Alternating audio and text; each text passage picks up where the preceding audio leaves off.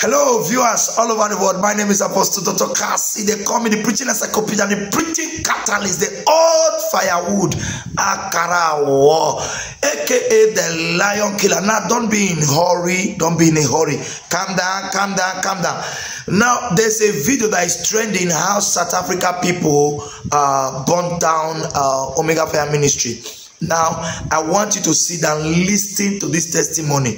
Please, I want you to tag uh, Naija Craziest and other people who are carrying the fake news about. Please help me tag them. Good day, my name is uh, Gift Mate. I am a South African youth. Um, I'm, I'm here to clarify a few things that have been going on online, just to correct the whole narrative that has been going on. Uh, I would like to let you know that we as South African youth are not responsible for burning down of the church in Johannesburg uh, branch, which is OFM Johannesburg. We love Apostle Johnson Suleiman. I know I love Apostle Johnson Suleiman because I've been following him since 2011. And I am sure that this is not uh, from us as South African youth, it's from the haters that are trying to stop the progress that has been going on and seeing that the church is growing and the word of God is prevailing through this ministry. And the church will continue to march on, and everyone who is against the progress and everyone who has done this will be brought to book very soon because the investigations are still going on and no one can stop the progress of investigations. So I would like to let you know that us as youth of South Africa, we love every pastor that is representing Omega Fire Ministry. We love our national pastor. We love uh, branch pastors. We love the church itself as Omega Fire Ministry. Praise the Lord, saints. This is Archbishop Bafana Stephen Zondo, the Bishop of the Rivers of Living Waters Ministries International. We are saddened by the news that the renowned anointed man of God, Apostle Johnson Suleiman from Nigeria, his headquarters here in South Africa, has been burned down. That is an evil act, and we condemn it with the strongest word of condemnation. That this should not be. If people have issues with the church, they should just sit down and talk. Never try to cause a rift between the South Africans and the Nigerians. Nigerians are our brothers, and we are their brothers as South Africans. It was only a few years ago that even my church, which we built it in this country, our first church, our first auditorium, was burned down by the community.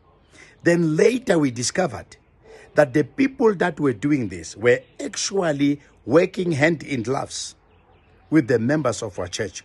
Some of them were inside and others were outside. Therefore, saints, take heart. This thing is happening. The last thing that I want to say one more time is that South Africans loves Apostle Johnson Suleiman.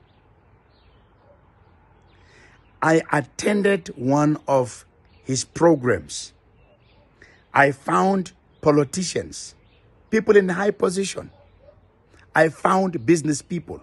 I found celebrities there. And I was one of the religious person. I found even the musicians that I know that are renowned in this country. Now, South Africans, South Africans, and we South Africans, we love Omega Fire Ministry and its founder. Greetings, everyone. I am Pastor Paul Adogan, the son of the restoration apostle, Johnson Suleiman. I'm here to clarify some things and to set the record straight. Omega Fire Ministries South Africa, Johannesburg specifically, was not burnt down by the South African youth. This is not a good image. You are giving to the country of South Africa, the good people of South Africa. This is a wrong image. And anywhere you are, you are a content creator, you are a YouTuber, take down that content immediately. South Africa is a good country. The people are good people. Whatever you are putting out there is not the real content. Apostle Johnson Suleiman, Omega Fire Ministries, they are loved in South Africa. I am the resident pastor. And I'm telling you right now, I'm in South Africa. You can see where I'm standing. I'm standing on the ground, Omega Fire Ministries, the very said burnt church. You know, this is the church. The place burnt is the auditorium. The children's church is still intact. You can see behind me is the office. So, whatever they are telling you out there, they are lies. This can actually now um, uh, tell more about the lies that are going on out there about the person of Apostle Johnson Suleiman. I am shocked. As the resident pastor of OFM Johannesburg, I am shocked to hear about what you are saying about the person of Apostle Suleiman and the Omega Family Ministries, Johannesburg, South Africa. The public must know this. These are satanic agents going out there to destroy the person of Apostle Joy Suleiman and Omega Fire Ministries. This is actually from haters, people who are not comfortable with the progress of the work in South Africa. The investigation is still going on. Yes, the police are doing their job, and uh, whoever is behind this will be brought to book. Yes, justice will catch up with them. I am the one in the midst of this. You never reach out to me to know what is going on. You never thought it wise to find out from the pastor himself to see what is going on.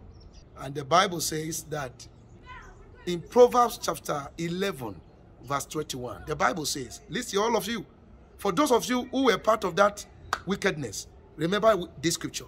It says, though hard jawed in hand, the wicked shall not be punished, but the seed of the righteous, but the seed of the righteous shall be delivered. We are moving on. And I'll be hearing people say, what is happening? I told them we are happening. What is going on? I told them we are going on.